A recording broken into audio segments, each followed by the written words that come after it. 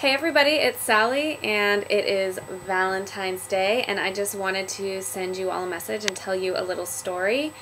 Uh, so I know a lot of people have really mixed feelings about Valentine's Day. Either it's a time where single people sometimes have the tendency to feel lonely or people in relationship can tend to be disappointed if Valentine's Day doesn't go the way they want it to or some people just don't care about it and some people think it's a stupid Hallmark holiday, but whatever it is, people have an opinion about Valentine's Day, and I've been thinking about that lately and today especially.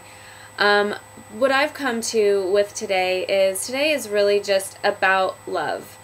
Um, every day is about love, but today is a particular special day to be thinking about love, how to give love, and how also to receive love. Um, so I woke up this morning to a lovely package wrapped right outside my door. Um, it was a gift from my mom.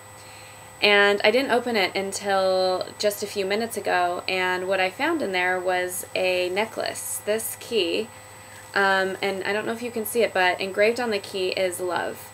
And the card that came with the key and the keys company is called the Giving Keys. And the whole idea is to pay it forward. So at some point, I'm supposed to give away this necklace and this key to somebody that I think needs to have it.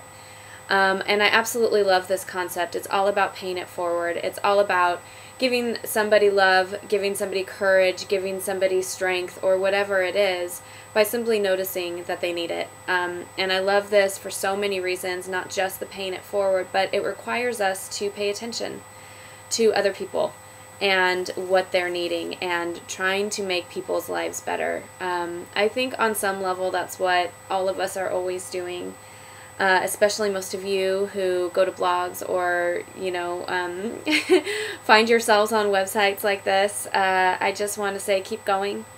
You're doing a wonderful job, and um, your only job is to just love, to love yourself, love others, and be love. So happy Valentine's Day. I hope that you find yourself smiling and I hope you have a wonderful day. Um, talk to you guys soon and leave a comment if you like this video and say hello and uh, tell the people that you love that you love them.